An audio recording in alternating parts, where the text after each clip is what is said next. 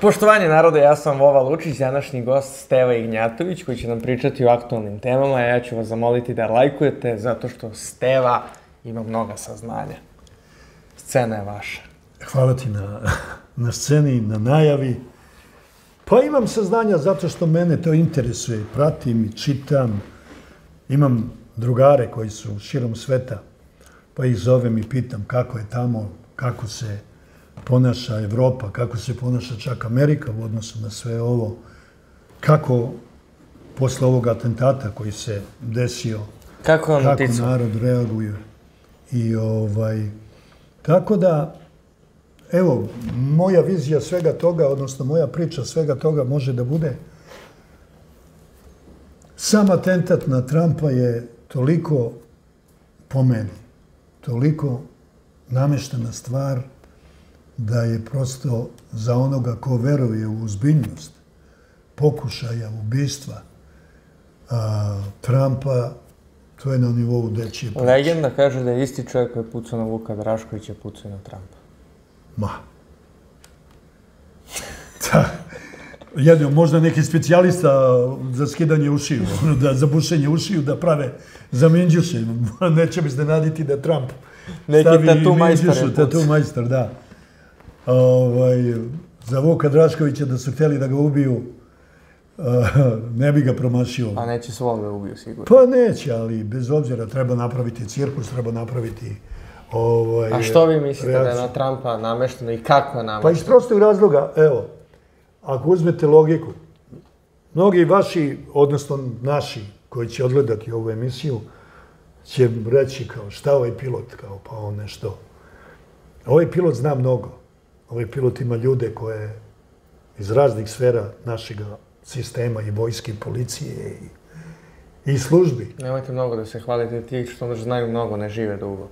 Pa, Tako Jezik za zub. ne znam ovaj, neću da kažem da ja znam sve, ali sedim s ljudima koji, kojima je to I profesija. šta kažu za Trumpa? Pa čista nameštaljka, mislim, čista budalaština da prvo nađete klinca koji je po meni ono autističano deluje, da on puca sa krova od 130 metara daljine, da ga školovani oficijalni snajperista drži na nišanu sve vreme i da ovaj puca, da pogađa Trumpa u uho, da To ga malo ovaj deluje ovako... kao da je dozvoljeno da Trump bude ubijen, ali nisu uspeli u tome. Pa ne, ja mislim da nije bilo dozvoljeno da bude ubijen. Ja mislim da je bilo dozvoljeno da bude ranjen. Ali sa te razdaljine pogoditi nekoga u uvo je jako teško. Pa gledaj, to je 130 metara, pa to nije neka velika sa optikom koju imaš. Ja imam, Znam, ali ima tu uticaj vetra, njegovo pomeranje, ima tu sto faktora. tačno je, za- ajmo da koji krenemo- mogu da utiču na ajmo da santimetar kažem, Ajmo se da kažemo ovako. Zamisli onog snajperistu, profesionalca, koji pored sebe ima ovaj, čoveka koji mu čita sve podatke. Znači ima čitav kompjuter pored sebe, koji mu daje i pritisak, i temperaturu, i brzinu, i pravac vetra, i sve. Snajperista ima. Zašto tu istu informaciju ne bi dao onom klincu tamo koji je ležao? A da li je neko spreman da se kocka na ovoliko? Jel onda je ovoliko bio promašen? Pa gledaj, da je bio za toliko promašen, Trumpa ne bi bilo. Ali ako imaš čoveka koji je možda upucan za toliko, možda ovaj klinac bio upucan za toliko, da gađa toliko, možda je bio izuzetno precizan. Da na toliko pogodi uho, što da ne? Ja sam lovac, imam dobru pušku, imam dobar, dobar, dobar karabin, imam, imam dobru optiku, američku optiku, imam Burisovu, to je oficijalna optika američkih specijalnih jedinica Green Beret, njihove čuvene.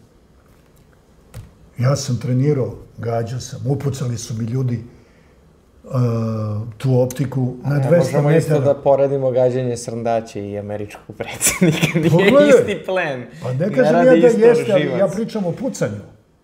Znači, ja pričam o pucanju. Jer uh, i onaj uh, Lee Harvey Oswald je pucao na Kennedyja, koliko je to bilo distansno, oko 300 metara. A Recimo. dobro, kažu da ga je ubio vozač. Pa sad može da priča ko šta hoće. Vozač da je ubio, nije mogao ga pogodi u, u potiljak. A ovo je pogođen u potiljak, razneta mu je glava. Tako da, A kažu Da isto da se- nije bio samo jedan pucač na Trumpa, da je bilo dvojica, pa čak i trojica. kažu i za Đinđića da nije bio jedan, da je bilo trojica. Pa to E znači sad- da neko ozbiljno organizovao. Pa naravno da je ozbiljna organizacija i da a, pucati, pa vi kad krenete u lov na divljač, je ozbiljna organizacija. Bez obzira što pucate na divljač. Jer tu su ljudi okolo koji mogu da popiju metak mesto divljači. Znači, sve se ozbiljno organizuje. Ali naći nekoga, naći nekoga ko će da odradi posao da bi se proslavio, naći nekoga ko će biti nesvesna žrtva, naći nekoga ko, ko želi da se proslavi u toj priči, bar u Americi nije problem. Apsolutno nije problem. Znači kažu? retarda koga ćete ubediti. Pitanje možda je ozbiljni pucač pucao u uvo. Ozbiljni pucač je možda pucao u uho. A ovaj, pošto kažu da je bilo tu nekoliko hitaca ispaljeno, a ovaj onakav kakav je, možda je pogodio onoga uh, jadnika vatrogasca, onoga koji je poginuo, onog šefa vatrogasne službe, koji je spašavao svoju ženu i čerku koja je tu bila. A ozbiljni pucač od njega možda je pucao u uho, koji je možda za to dobio nešto, kome je nešto obećano, a Trump možda u celoj priči treba da postane a, eto, sinonim i budući mesija i ono, bravo, vidite šta hoćete, ne možete mi ni to, e ja ću sada da svoj rejting povećam, jer sprečit ću Ameriku da bude a, Mala ponovo. mala, ponovo bit će velika, onolika kakva zaslužuje. U isto vreme ću Evropu da ovaj, naučim pameti, zato što tamo neki Francuz, neki Nemac, pogotovo ovi gore iz eh, Skandinavije i Baltika, nešto se kočopere kako oni hoće da ratuju, sa Rusima prave liniju A odbrane od 1100 km dalje, ovaj, fronta. fronta, odbrambenu liniju, da prave već postavljaju, ovi baltičke zemlje postavljaju po pet redova onih a, ježeva. Otkrite nam tajnu zašto. Rusi stagniraju toliko sa osvajanjima već mesecima. A ja ne mislim da oni stagniraju. Ja mislim da oni jednostavno kao valjak, kao kad se pravi put. Valjak ide, buldožer ruši, valjak ide i ravna. Što kaže jedan čovjek, mlin leje. Mlin radi i melje. Jer zašto bi oni srljali? Jer oni, do čega su doveli ukrajinsku vojsku? Ukrajinsku vojsku su doveli do toga da je prosječna starost vojnika na frontu 45 godina. Pa čak i do 50. Znači, pazi, imaš borbene jedinice ljudi koji imaju 45 godina. 70% tih od 45 godina već imaju svoje neke boljke. Počevši od reume, pa preko povreda koje kakvih i sad on treba da juriša na mladost koja ga čeka s druge strane. Za sada, svi ovi regrutovani i dobrovoljci, niko ne prelazi 25 godina na ruskoj strani. I zašto Rusi stagniraju pored tako slabog neprijatelja? Pa oni ne žele da idu napred.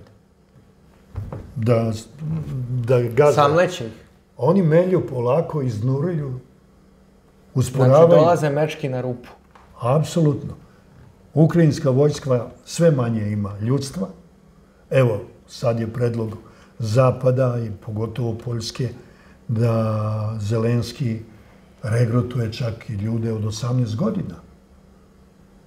Ali Kličkov se protivi tome, pošto njegovi sinovi na Floridi ovaj, uživaju i deca svih funkcionera ukrajinskih su van Ukrajine, oni ne ratuju, oni se provode na Azurnoj obali, provode se u Americi, provode se u Engleskoj, uživaju dok tuđa deca ginu. Na kraju, nismo mi daleko od eh, naše prošlosti, kada se to i ovde dešavalo, da su sinovi nečiji, ne samo sinovi, nego i političari, koji su žarili, odnosno hteli 90. godina da Pa, budu u nekoj nešto. 1900. godina. I 99. godine, ovaj, ja ne znam, do sada u javnosti je izašlo samo da su dva zvanična političara koji danas na našoj sceni, ovaj, pored Dačića i ovoga Čanka, ne znam da li je iko od ovih drugih bio negde u nekoj jedinici a, za vreme bombardovanja. Znam da su mnogi pobegli, dezertirali čak i pobegli što u Hrvatsku, što u, u Crnu Goru i tamo se zavukli. Da, Da smrde. Pa šta su radili, vidi, vidjeli smo i osjetili smo kad su se vratili kao pobednici. Pa nasmrdeli A su. ja sam ovaj, na svojoj koži to i osjetio od žutih ili tegić žutih, kako se to zove, ovaj, već kako smo ih zvali, ali najtužnije što ih i danas ima da odlučuju o našoj, našoj sudbini, našem životu. Isti ti koji su nekada ovaj, na prvi metak, na prvu bombu zapalili preko juge, preko grane i vratili se, čekali da se sve završi. A šta kažete za ovo što Ovaj. će da nas otruju kolektivno? Ko? Rio Tinto. Ne znam, tu, tu priču za Rio Tinto ne mogu, ne mogu da razumem u stvari ko tu koga laže. Da li onaj narod koji je uzeo pare već i to imam informacije, a čak i znam nekog iz tog podneblja dole koji je nasledio kuću na putu od Loznice ka Valjevu u nekom delu tamo, ne znam tačno selo, ali mislim jedno 30 i nešto kilometra daleko od Loznice. Ta kuća je vredela jedno sto, o, vredela oko 20.000 zajedno sa place. Kada je Rio Tinto došao dole da gleda baštu i ostalo, ta kuća je prodata za 140.000. Tih 140.000 je prosleđeno ovde U stani džip. u stan u Beogradu, jer deca treba da dođu da studiraju ovde. Tako da meni to stvarno nije jasno, ali verujem da će uskoro i da... Evo i danas sam gledao Skupštinu, mislim, što kažu ovi kvazi ekolozi, ovi koji 24 godine studiraju pa nisu završili fakultete, ovi koji uz vinjak vide sve i, i ovaj, znaju sve, Žao mi je što sadašnja vlast neće da posluša i one koje njima ne pripadaju, a razumeju se malo u sve ono o čemu mi sada pričamo, litijum i tako dalje, otpadne vode. I iskreno, ja se lično plašim, s obzirom da letim i dalje ove male aviončiće, pa kad dođem onu teritoriju Bora, Majdanpeka, ono kad gore preletim, kad vidim na šta to liči, ne To treba, date gas. ne treba daleko otići, evo, dovoljno je i ovde. Koliko vazdušnom linijom ima do Bora, Majdanpeka? Pa ja mislim Od da... Beograda? Pa sat vremena leta ovom malim aviončićem, to je otprilike jedno 200, 250 km vazdušne linije. Ne, da Toliko? da, da. Vazdušne linije? Da, da, vazdušne linije. Pa nemaš ti tu neke krivine i ono ostalo da bi se produžilo. Znači, ti od Beograda do Niša stigneš avionom za neki 50 minuta. A kolima, a ima 200 i nešto kilometra, kolima putuješ sati 40, sati 50 do Niša.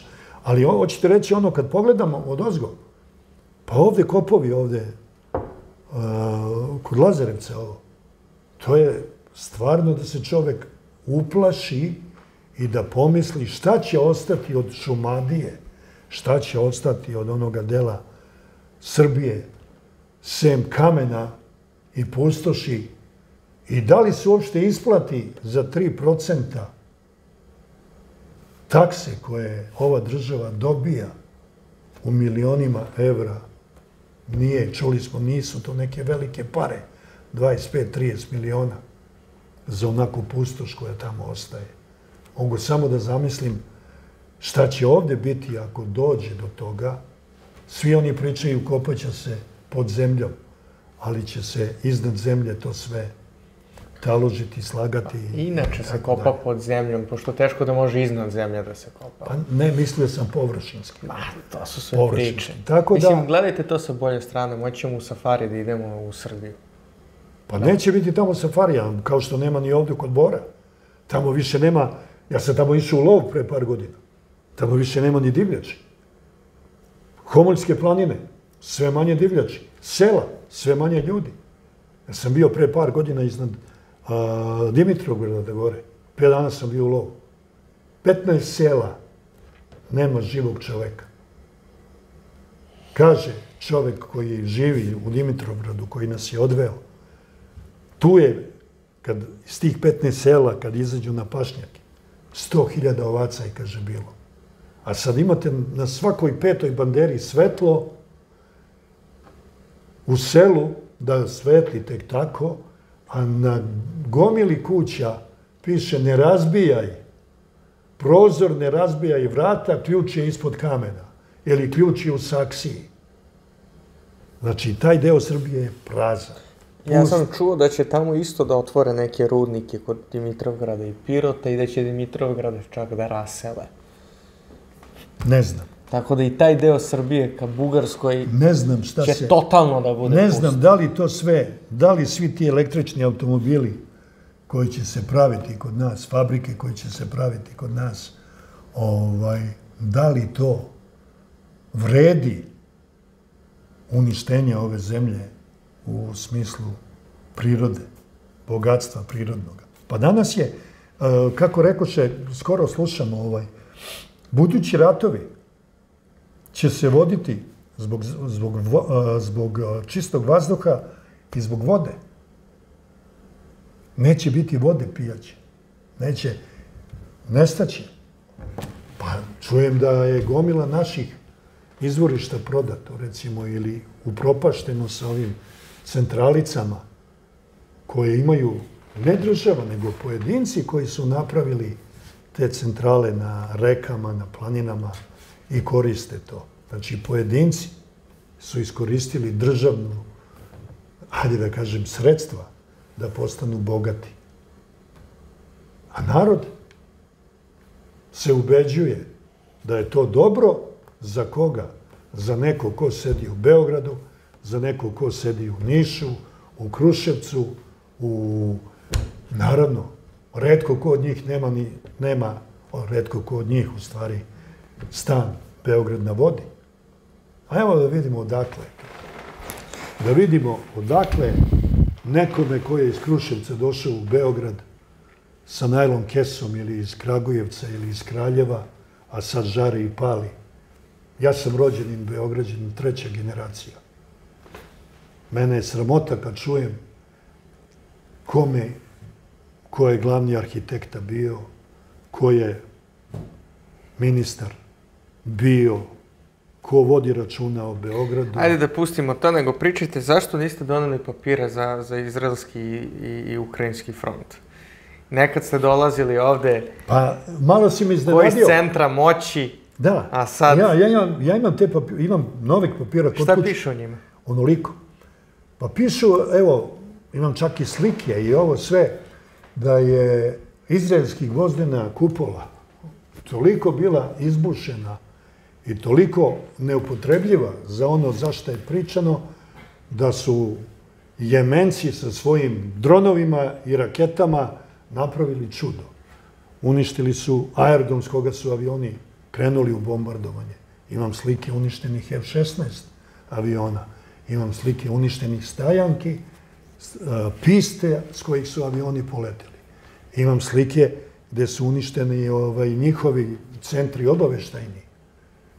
Rakete su stigle iz Jemena, ali u Jemen su stigle iz a, Irana, tako da, neću da kažem iz Rusije, a verujem da jesu, jer evo, trenutno je delegacija jedna jemenska u, u, ovaj, u Rusiji, pregovaraju tamo, razgovaraju, jer su se nameračili, u stvari, Jemenci su se nameračili na onaj Adenski zaliv i kao što vidite, oni su vrlo uspešni bili u gađanju ovih brodova, koje nekoliko su već potopili i uništili su a, ekonomsku, um, da kažem, mornaričku industriju Izrela. Tamo je ona najveća njihova luka za pretovar ovaj, proglasila bankrot, jer brodovi više ne dolaze. Ne smeju, jer Huti čekaju. A ovi što ih gađaju, što bombarduju svako dana, evo, pre neki dan su Amerikanci gađali kao osam ciljeva, mislim, Iran i Jemen spadaju u deset neosvojivih zemalja na svetu. To je zvanična informacija koju je Institut američki za proučavanje rata izdao. To nije rekao Stevan Ignjatović. Taj institut je izdao da su Jemen sa svojom pozicijom, lokacijom, orografijom i ratnicima koji imaju neosvojiva zemlja. Iran s pozicijom, orografijom, neosvojiva zemlja. Da ne pričamo o broju stanovnika od 80, da ne pričamo o tome da je Iran postao svetska sila, da je treća zemlja na svetu koja raspolaže s hipersonične rakete.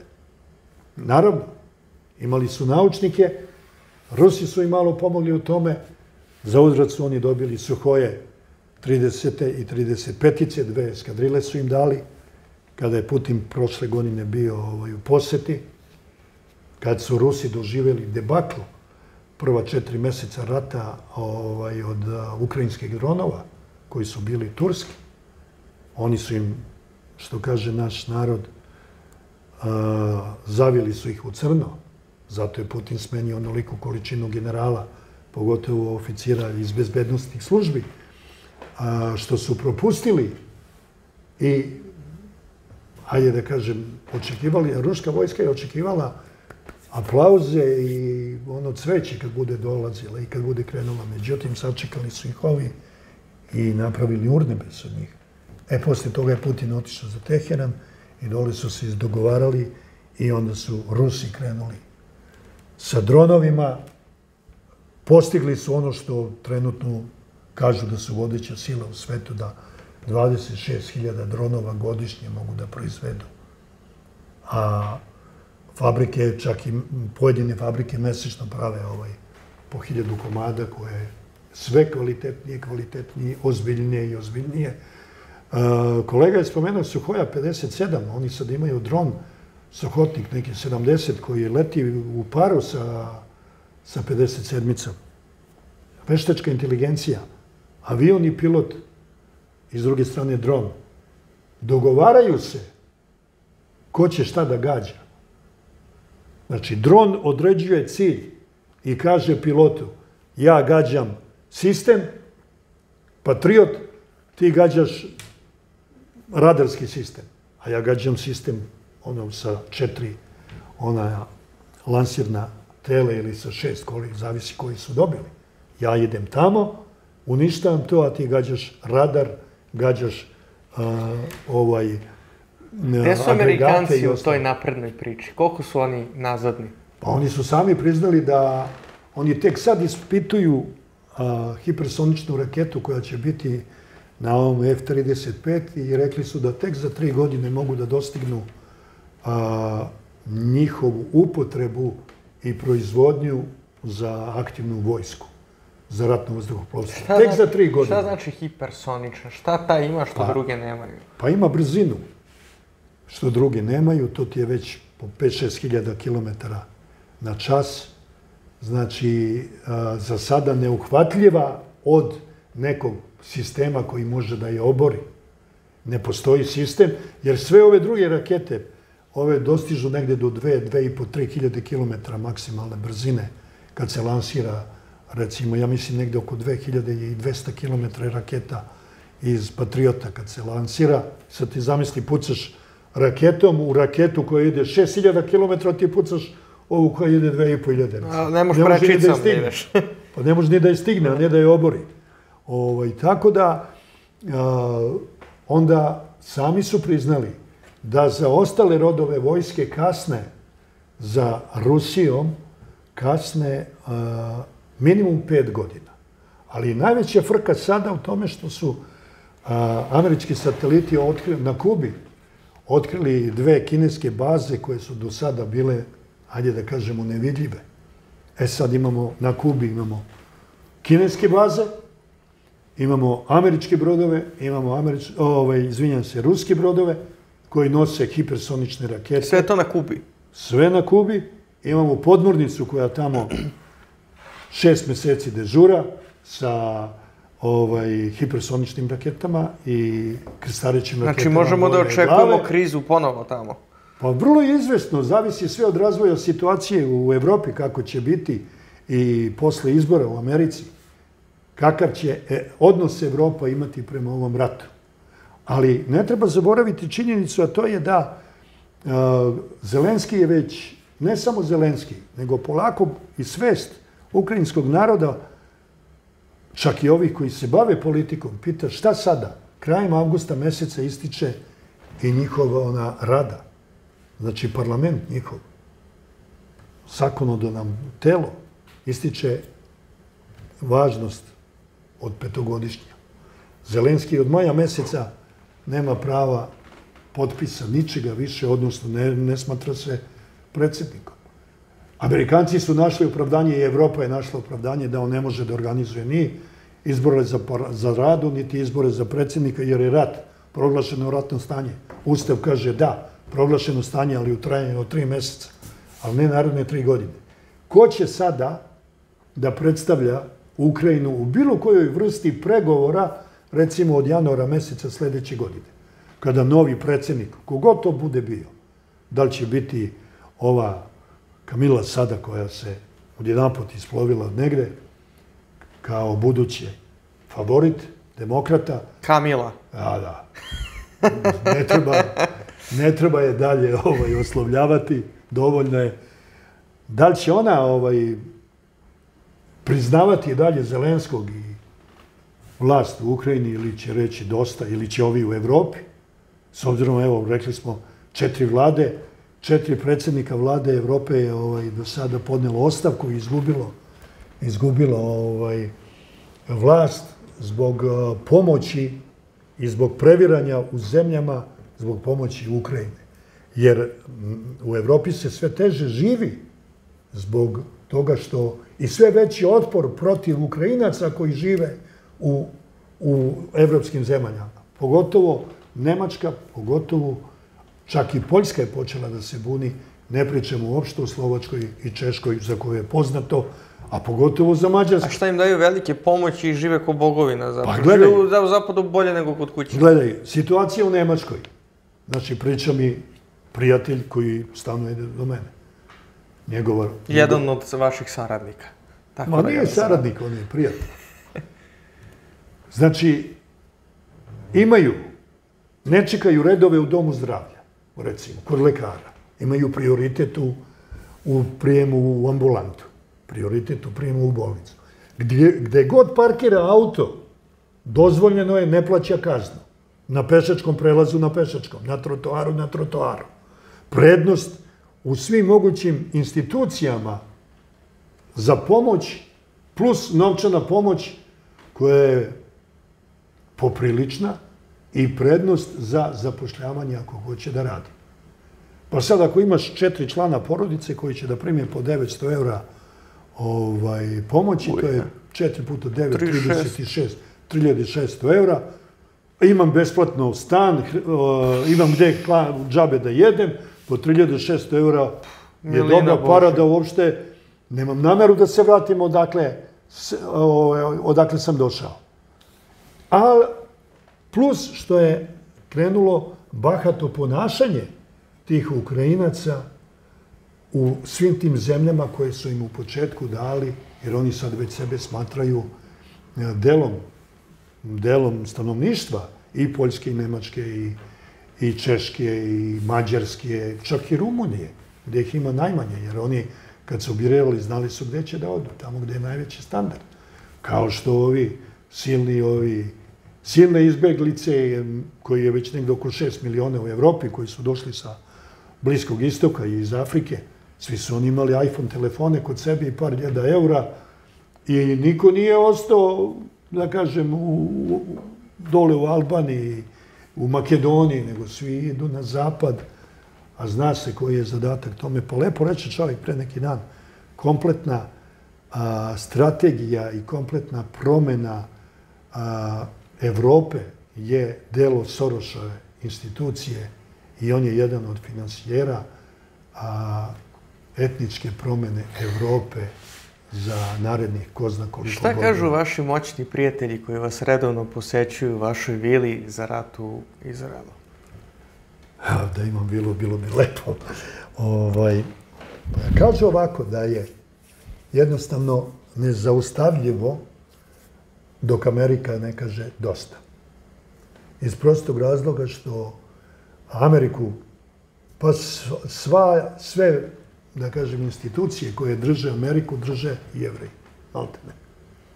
Kapital drže jevreji. Moć i vlast drže jevreji. Nemate, neko je skoro iznao podatak da dve trećine ovih kongresmena i senatora Su makedonci. Su Makedonci. ovaj, Ne smemo. oni koji imaju kape na glavi, kapice na glavi. Onda su imaju- to ši, šiptarski. Nisu.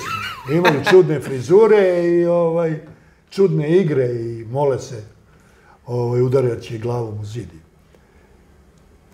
Oni odlučuju o tome.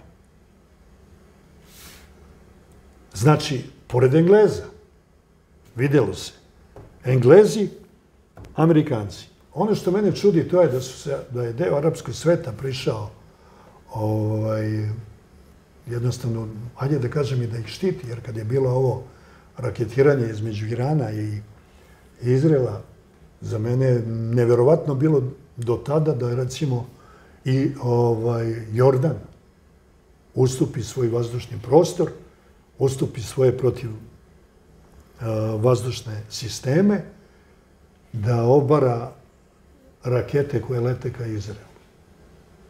Saudijska Arabija koja je tu se umešala u zaštiti. A onda mi je bilo jasno kad čovjek kaže, pa gledaj, oni su sklopili dil sa Amerikancima.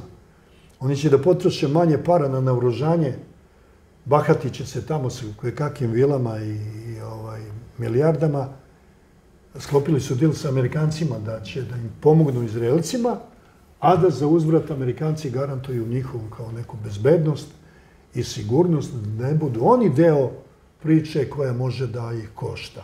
Kao što je bilo sa Saudi Arabijom, kada je sa, ovaj, a, sa Jemenom, kada su rakete letele ka njima.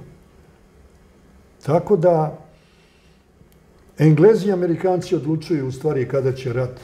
Netanjahu više, po meni, on, je, on se osokolio, on ovo mora da gura zbog sebe da, jer završetkom ove priče njega čekaju suđenja i verovatno ono ratni zločini za koje ja ne verujem da će ikada završi u Hagu, ali ovaj, čeka ga suđenja u samom Izraelu zbog kriminala s kojim se on bavio pre početka rata, pa ministri oko njega, jer na kraju kažu da je možda čak i početak rata izazvan zbog toga da bi Netanjahu duže ostao na vlasti, a ova ekipa koja je načinila tamo zločin u izraelskim kibucima jednostavno je bila neka vrsta dogovora.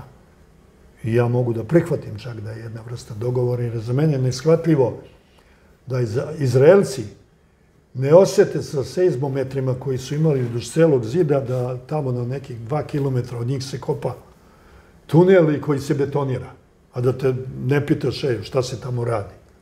Mislim, i suviše najna priča, možda za ove naše a, analitičare koji imaju po 25-30 godina života, pa misle da ovaj, svrstavaju se na jednu ili na drugu stranu, u stvari uglavnom na prozapadnu stranu se svrstavaju, a niko od njih nikada tamo nije bio, kao što nije bio u Ukrajini, kao što nije bio u Belorusiji, kao što nije bio u Rusiji. A šta kažu vaši prijatelji za palestince koji tako uspešno ratuju u sandalama?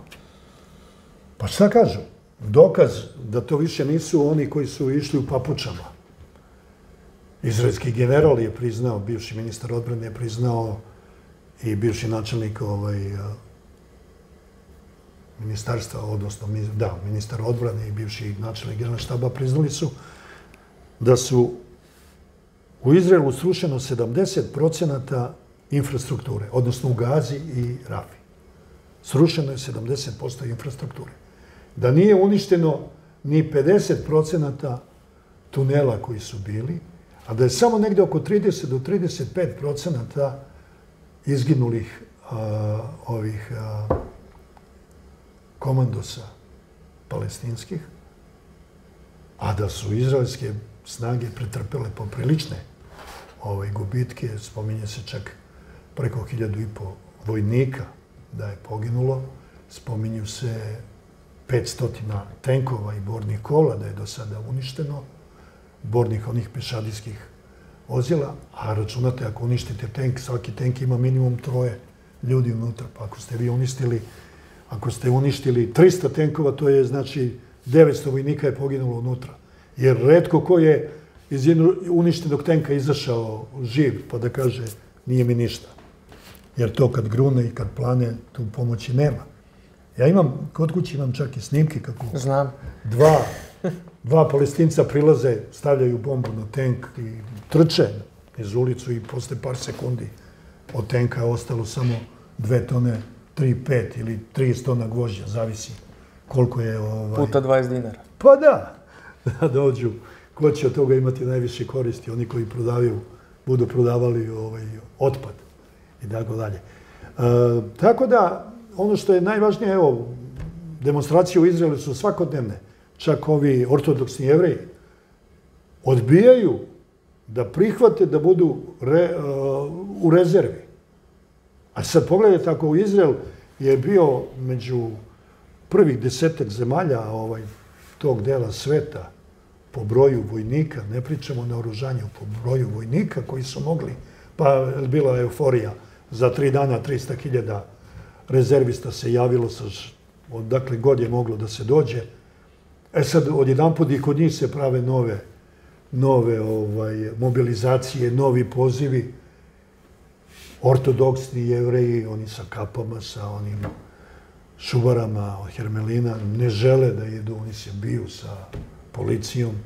Mislim da će dole da Englezi i Amerikanci, da će ovde traje još, rekao, do promene vlasti.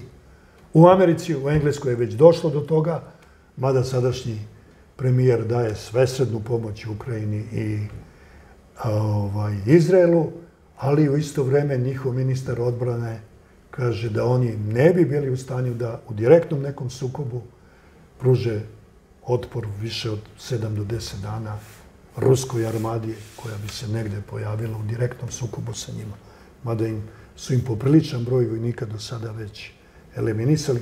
Ne treba osporiti činjenicu da su i Rusi pretrpeli velike gubitke u Mornarici, zahvaljujući engleskim specijalcima koji su edukovali ukrajinske vojnike, a u isto vreme i učestvovali u direktnim, u direktnim ovaj, napadima na rusku flotu, pa na radarske sisteme oko ostrva koje je tamo ostrovo Zmija, kako su ga zvali, pa na one crpne, odnosno naftne platforme koje su ovi osvojili, radarske S-300 sisteme i 400 su im uništili, tako da ja očekujem da će posle januara meseca da se sve iskristališe, jer I, izdržati... I ovamo i onamo. I onamo i ovamo, i u Evropi, i, i tamo malo dalje od nas. Evropa je na 600 km vazdušne linije borbe, ovde dole negde oko 1200 do 400 km.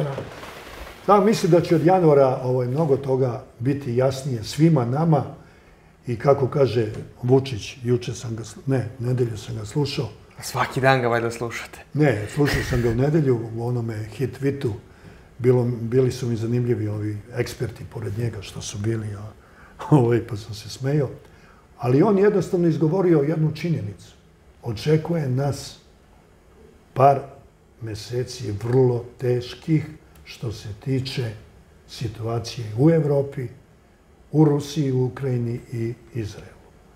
Šta to A znači? tih par meseci ja pretpostavljam da je mislio do ovih američkih izbora i onda kako se veliki budu dogovorili, ko bude preuzeo Ameriku, naredit će Evropi i posle toga očekujemo finale. Ali dobro, mi smo navikli istorijski da uvek u dogovoru sila Srbi završe ovako. Ovaj, tako da, taj januar baš ne zvuči nešto ambiciozno. Pa dobro, januar će da bude, ali dok oni svi dođu... Dok Ne, januar će sigurno biti. Da.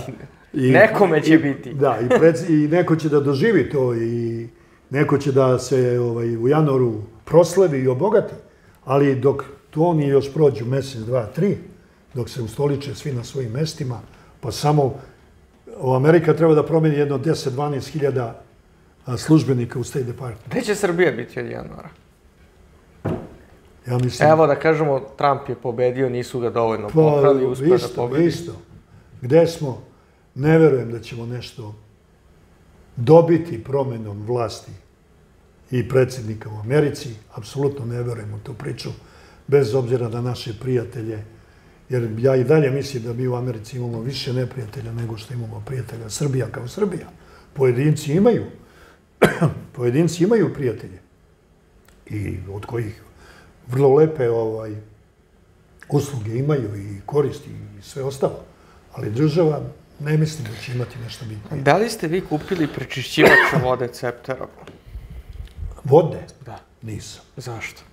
Pa jednostavno, Pored tokva naočara vi nemate prečišćivač vode. pa nemam, eto, ne A znam. ovo su, kažu, blindirane. E, pa to mi treba. Da, duplo staklo. Da, to mi treba ovaj, da ne dobijem prst u oko. Zbog moje priče, ovaj, pošto drugima stavljam prst u oko, često, sa mojom pričom, mojim ponašanjem, i onda ovaj, no, ove naočare će mi pomoći da, Kad ćete kupiti prečišćivač vode? pa ne znam koliko košta. Dobit ćete popust, valjda 30%. Pa, znam kada. Kad legne penzije. Ali povećana u februaru mesecu Opa. sledeće Koliko? godine. 5%. Pa onaj švajcarski sistem, ja mislim da je 5, koma nešto posto. Ovaj. Ali dobro, šta da ti kažem, mislim. Bolje i to nego, nego ništa. Hvala vam što ste ja sam ušao u kategoriju penzionera kojima nije uzimano četiri godine, nego sam jednostavno odmah ušao u onu kategoriju penzionera koji su dobili svoju penziju onako celu.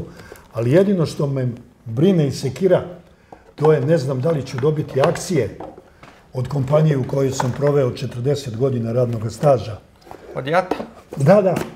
A JAT je bio i državni, i radnički, i državni, pa akcionarski, pa kupili ga ovi, kupili Uzdajte ga se oni. vi bolje u tih 5%, a ne u akcije, pa kupite da. vode. I eto, to me čisto interesuje da li će ova država da jatovce, radnike koji su ceo svoj radni vek proveli tamo i zaslužili. Kako to sad zvuči kao da ste bili neki težak fizički radnik tamo. Pa Ne, jesam. ne, Pa jesam, a ako neko misli da je pilotska profesija lagana, grdno se vara. Čuli smo kro- kroz priče mojih kolega šta znači G opterećenje, šta znači ovo, šta znači A ono. šta mislite o gej opterećenju? On ima, mislim, sve... Pa da ti kažem. Kažu, ne znam, ali kažu da ih ima koliko hoćeš. Ali sam pročitao jedan podatak što me iznenadilo pre jednu, dve, tri godine, kad je to, kad je bila prva gej, ona parada u Montenegru. Kaže, prema broju stanovnika i registrovanih gej gej populacije, Nikšić je broj jedan u Evropi. Eh, Ercovi da su broj jedan. E, ja sam to isto rekao, evo, nemoguće. Bre. Da, da, prema toj nekoj evropskoj ovaj, regulativi, koja prati, a ja verujem i ovi naši ovde, kojih ima koliko hoćeš, tih a, organizacija koji ih štiti i brani i zastupa, kaže, prema broju stanovnika i registrovni gej ljudi, Nikšić je broj jedan. A to su bosanci sigurno da bi zezali ove Ercove. Kogo daje, 100%. pazi, kogo daje, ja ih zaustaviti ne mogu, da im sprečim ne mogu, samo nek me ne diraju. E onda mogu. Hvala vam što ste bili moj gost. Kad me god budeš pozvao, bit ću, meni je zadovoljstvo i...